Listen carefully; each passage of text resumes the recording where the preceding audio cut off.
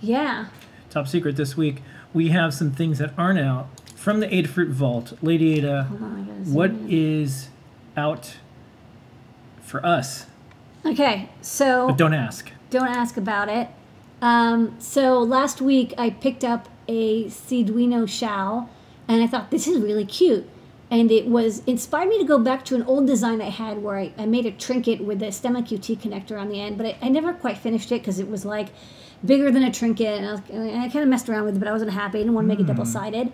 Um, so this is got the same pinout and shape as uh, the Seeed XIAO. It's got USB-C, a SAMD21, a regulator. Um, it's also got a reset button because I really like reset buttons, and it's got a Stemma QT connector so you can plug and in. it's USB C. It's got USB-C. It's a nice and board.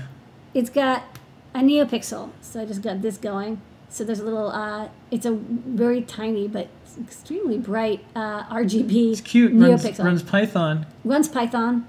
Mm. It's uh, getting started. So this is my first revision. I just did this right before the show. I put this together. It's got castellated pads.